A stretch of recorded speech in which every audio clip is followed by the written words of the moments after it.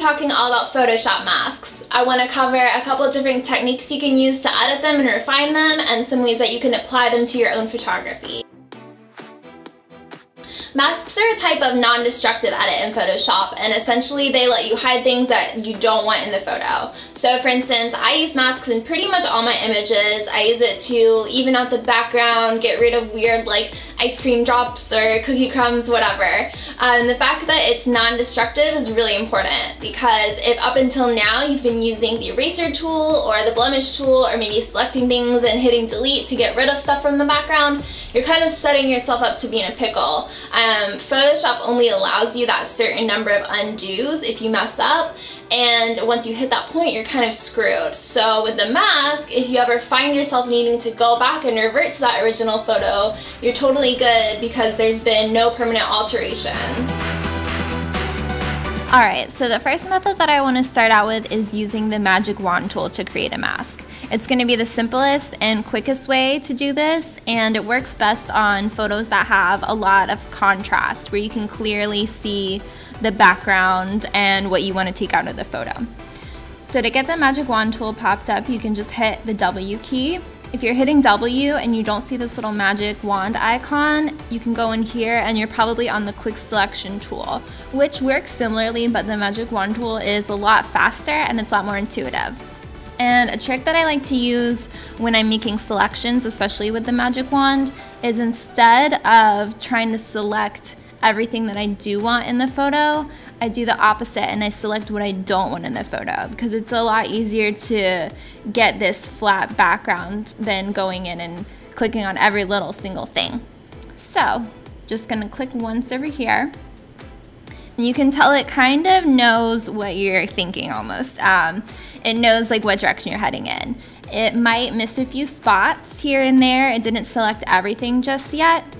But to add to this selection, you can go ahead and hold down the shift key and see this little plus button that pops up. Just click on the areas that you want to add to the mask or to the selection. And it's gonna get it for ya. Sometimes it takes a few extra clicks, but for the most part, it's pretty quick. Okay, so with everything selected, to make a mask from this point, you can go down here onto this right side and click add a mask. There's a step that we're gonna do before this, but I'm gonna show you what it would look like if you were to just create a mask from this point. So you can tell there's a few problem areas. It's kind of jagged, it's a little rough around the edges. So I'm gonna show you the step that we're gonna take before we add the mask. So undo that. So with everything still selected, go into the select panel and hit this refine edge here and you're gonna get this whole tool panel. And I'll zoom back in to that spot we were looking at where it's so jagged. And from here, we can bring up this smooth slider in the adjust edge area and see how it instantly just smooths that right out. Hit okay. And then from there, we can hit that mask button and you'll notice that because we selected the inverse, it's not the photo that we want. So go into this properties panel here, just hit invert. And then from here, we're just left with this transparent background. So you wanna drop in a solid layer. So I like to use the rectangle tool and just draw a rectangle behind it. And then to get the right color, because it's just gonna select whatever color you were using last, um, go ahead and click on your mask, not this, not the actual photo, click on the mask thumbnail and then hit this eye here. Double click the rectangle and you can use the eyedropper to kind of swatch whatever color is gonna be the best for your background. Okay, turn the mask back on.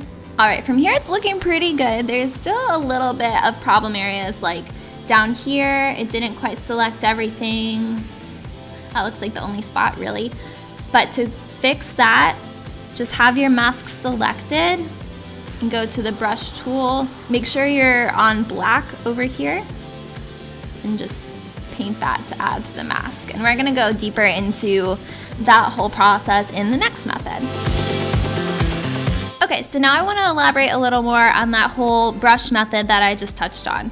So this method is going to work really well on photos where there's not a lot of clear contrast between the background and the object, uh, monochromatic photos like this. So you can see if you were to use the wand tool, it kind of doesn't even know what you're asking it to do. It goes a little crazy and it kind of like selects everything. So you can tell there's a lot of chunks, important chunks missing from the photo that we need. But at the same time, we can kind of use this as a starting point and then use the brush tool to jump off of that and paint those back in. So I'm gonna drop in my background here using that same method.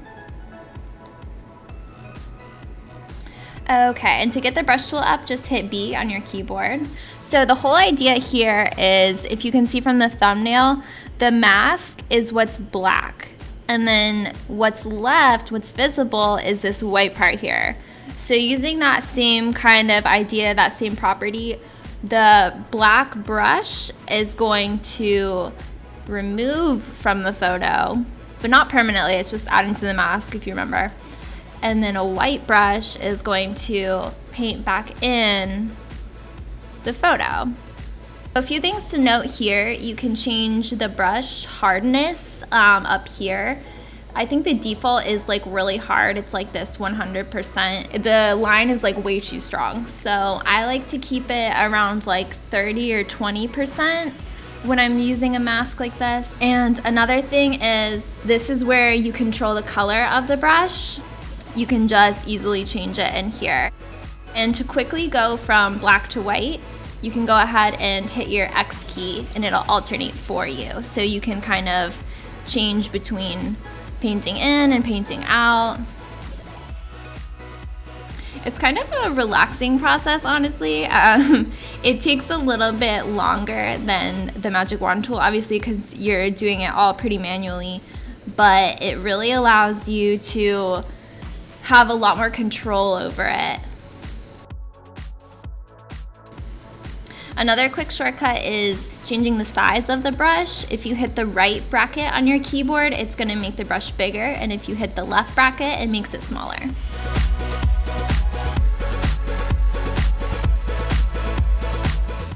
So I'm just painting the shadows back in right now. Um, when you're painting with the shadows in the mask, you can change the hardness. Um, you might need to go a little softer for the shadows.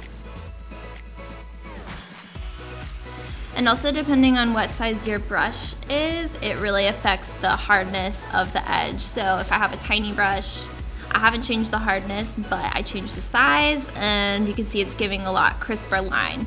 So you kind of just want to play around with it.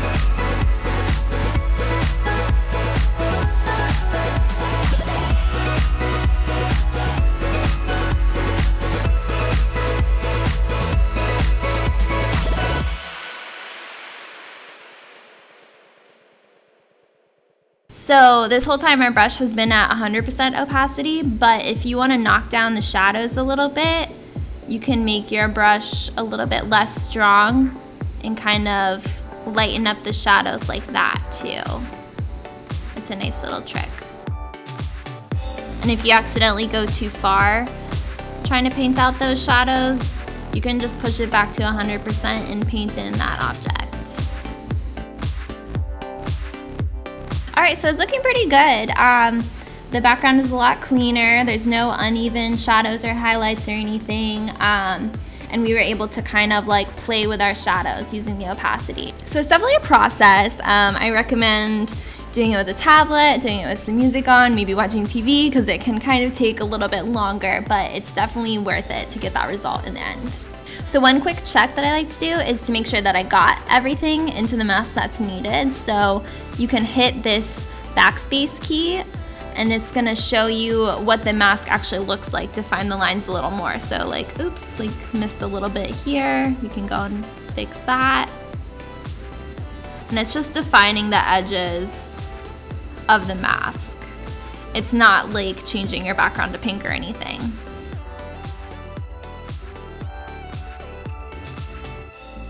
So up until now, we've mostly been talking about using masks as a way to get a nice solid background, but it's also great for combining multiple elements into a single photo, like in this case. So this disco ball is actually masked out from a separate photo. Take those two different photos and then select this disco ball, the part that I want, go ahead and copy it, and then I pasted it into this photo here. So to get rid of this background and make it fit in seamlessly with this other photo, I just masked it out. Um, since it's a circle, I'm using this elliptical selection tool, which is yet another method that you can use for something like this. Go ahead and refine my edges again.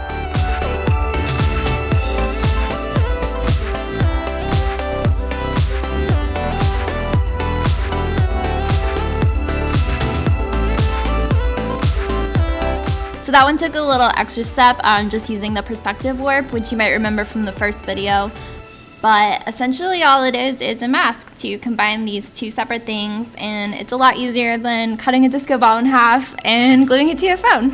So hopefully the video was helpful. Um, I know it was kind of a lot of information jam-packed into a short amount of time. So if you need anything like further clarified, um, need anything explained a little more, just let me know in the comments and I'll definitely get back to you. And thanks so much for watching, you guys.